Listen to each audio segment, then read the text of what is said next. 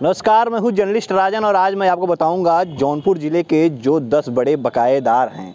जी हाँ जौनपुर ज़िले के जो 10 बड़े बकायेदार हैं जिन्होंने ऋण लिया लेकिन जमा नहीं किया, उनके बारे में मैं आपको बताऊँगा। एक दशक से इन लोगों का नाम जो है चला रहा है, मैं कलेक्ट्रेट कचहरी में हूँ और ये देखिए, नाम की जो लिस्ट है वो लगी हुई है कि जौनपुर के जो 10 बड़े बकायेदार हैं, उनकी सूची लगी हुई है। सबसे पहले नंबर पर अगर हम बात करें तो रणजीत सिंह पुत्र श्री माती वीर, सिंह ग्राम नदिया पार तहसील सदर। ये खाद एवं रसद का इनका बकाया है और बासठ लाख अट्ठानवे हज़ार तीन सौ तीस रुपया है।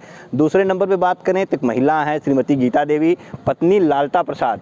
ग्राम सिद्दीकपुर तहसील सदर खाद्य और रसद का इनका भी बकाया है चौवन लाख पचहत्तर हज़ार चार सौ उनचास रुपये तीसरे नंबर पे हैं Tushar rice mill proprietor Shrimati Neetu Singh.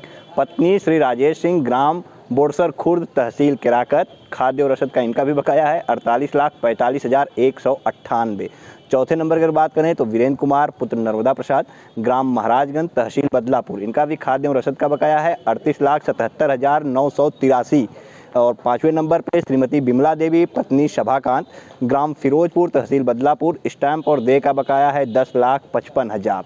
छठे नंबर पर राजेश कुमार सिंह पुत्र श्री चंद्रभान सिंह ग्राम खुनसापुर तहसील सदर वाणिज्य और कर का बकाया है आठ लाख बहत्तर हज़ार तिहत्तर रुपये और सातवें नंबर पर श्रीमती अमरावती देवी पत्नी लालजी ग्राम मल्लूपुर तहसील बदलापुर। इनका भी स्टम्प और दे का बकाया है आ, ये है आठ लाख साठ हज़ार। और आठवें नंबर पे ब्रिजराज सिंह पुत्र श्री हरिहर सिंह ग्राम उदय भानपुर तहसील बदलापुर उद्योग और ऋण का इनका बकाया है आठ लाख एक हज़ार आठ सौ छत्तीस रुपये नौवे नंबर पे महेंद्र प्रताप, राजेंद्र प्रताप हैं, पुत्रगढ़ सुबेदार सिंह। ग्राम अकबरपुर तहसील शाहगंज, इनका बैंक का दे का बकाया है सात लाख सत्ताईस हज़ार तीन सौ चौवालीस। और दसवें नंबर पर अगर बात करें तो श्रीमती राधा देवी, पत्नी कड़ेदीन, ग्राम बशरवा तहसील मछली शहर, इनका भी स्टम्प का दे है सात लाख पच्चीस हज़ार। तो ये जौनपुर के दस बड़े बकायेदारों की सूची है, जो कि एक दशक से यहाँ पे लगी हुई है। इसमें से पता नहीं कितने लोगों ने जमा किए या नहीं किए। अगर जमा नहीं किए तो इनके ऊपर कार्रवाई क्या की गई, अभी तो कुछ भी पता नहीं, आखिर इन लोगों ने क्यों जमा नहीं किया? और अगर इन लोगों ने जमा कर दिया गया है तो इन लोगों का नाम यहाँ से क्यों नहीं हटाया गया? क्यों इस लिस्ट को जो है संशोधित नहीं किया गया?